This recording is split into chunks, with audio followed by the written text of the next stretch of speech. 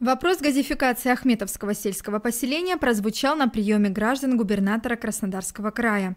Это поселение самое отдаленное от райцентра, и люди с нетерпением ждут появления газа в своих домах. С этой проблемой к Вениамину Кондратьеву обратилась жительница села Горного Раиса Гауда.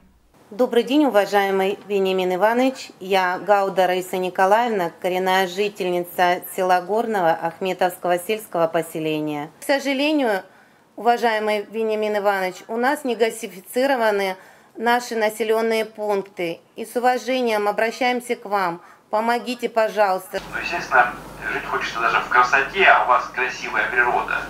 Действительно красивая природа. Еще хочется жить и в комфорте.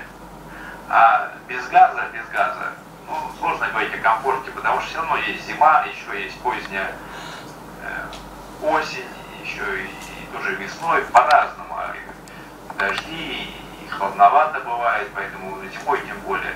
Я абсолютно с вами согласен, что если есть возможность, чтобы к вам пришел газ и дал комфортные условия жизни, то, безусловно, мы должны посмотреть, насколько это возможно, и если это возможно, безусловно, это сделать. Я соглашусь, пожалуйста, здесь Александр Александрович Тембицкий, э, вот э, мы в целом говорим о газификации, и я еще раз повторюсь, нет смысла говорить о процентах газификации, если трубы проходят э, мимо населенных пунктов, а, а к домам не подключены. Поэтому здесь, насколько это возможно все-таки сделать, пожалуйста, Александр Александрович, вам слово. Да, мы проанализировали ситуацию. На ближайшей ГРС э, станицы Засовская есть мощность и довольно-таки хорошая, больше 28 тысяч кубометров в час мощность есть. Поэтому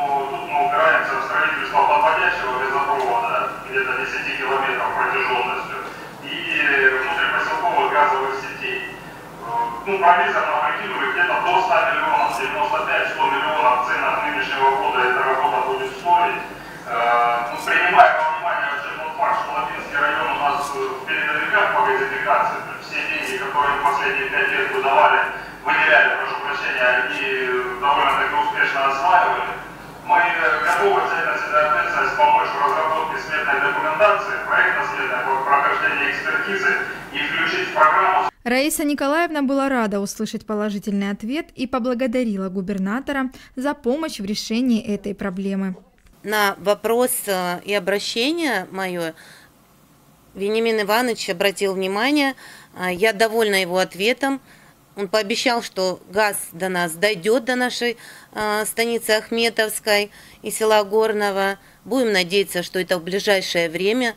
Так что еду с поднятым настроением сказать своему народу и своим жителям, что без внимания нас наш губернатор нас не оставит. Лилит Саакян, Георгий Сопов, телекомпания «Лаба».